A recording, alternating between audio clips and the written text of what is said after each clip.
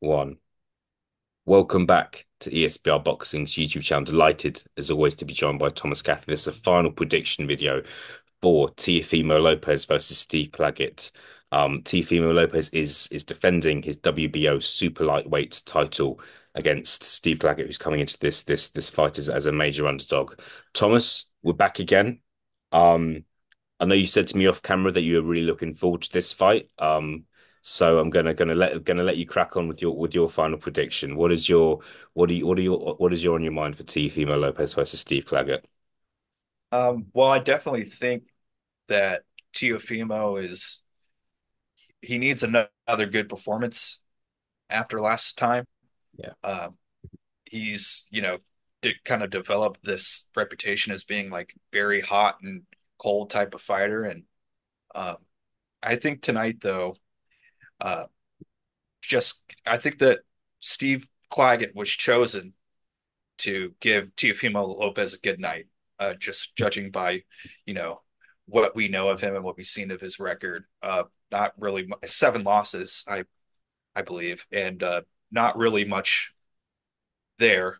So, um, yeah, I expect Teofimo to win by stoppage, say mid rounds, say round six, seven. Yeah, yeah. No, we'll we'll see. I think you meant you used the phrase hot and cold there, and I think that's the best phrase to use to describe Teofimo Lopez, the most hot and cold fighter at kind of at world level. And I think one question I've got in regards to Lopez is when did he last produce two good performances back to back? And I think you're going back a few years now, to be honest. Um, and I think maybe it's a case of look, motivation levels for certain opponents. Maybe he's just not a very consistent fighter. But it makes videos like this a bit more interesting. Um, because I think look, if you would if we were doing a final uh, final prediction video for Teofimo Lopez against Vasyl Lomachenko, probably would have both got it wrong. Teofimo Lopez versus George Kambosos Jr. probably would have both got it wrong.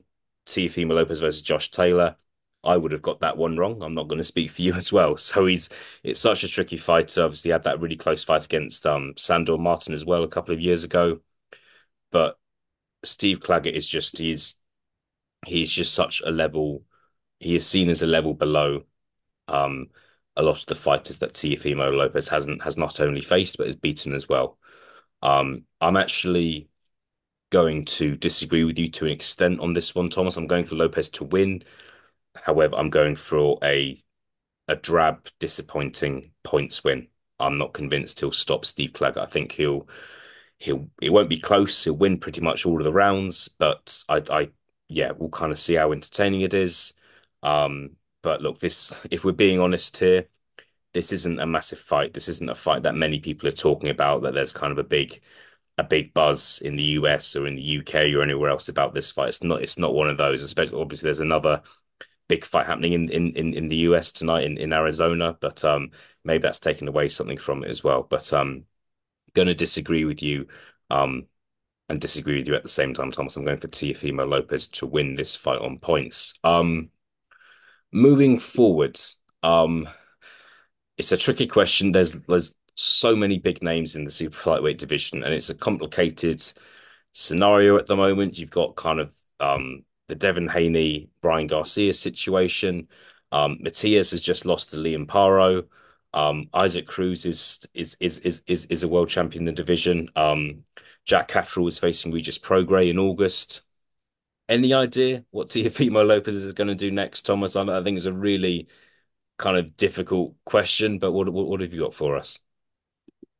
Oh man, 140 is just so loaded, you know. It's uh it would be it would be a challenge to figure out which direction he would go next.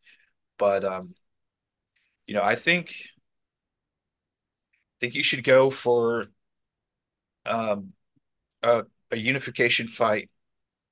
Um, perhaps um against maybe against Liam Paro, Yeah, yeah, who who just won uh WBO a couple weeks ago, yeah. Or uh, um, or perhaps he could uh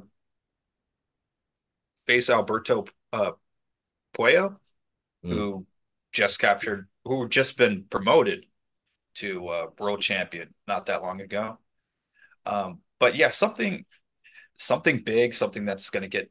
I mean, not that those fights would necessarily be big, but they're unification fights, and it's it's a step up from what we're getting now. And I think that those kind of fights are what would draw a better performance out of Teofimo at this point, Yeah, just based off of what we've seen. Like I know that I, I picked him to win by stoppage um, against Claggett, but those are the kinds of performance fighters that he hasn't really been looking great against lately.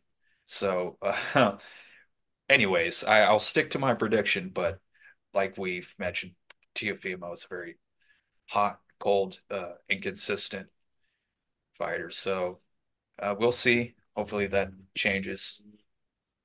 yeah, yeah. Well, it's a tricky one. I think there's, as you said, it's such a loaded division. I think Teofimo, the for me, my favorite Teofimo Lopez performance. It, it's not against Lomachenko, although that was that was fantastic. I just think the performance against Josh Taylor, he made Josh Taylor look like such an ordinary fighter. It was so impressive.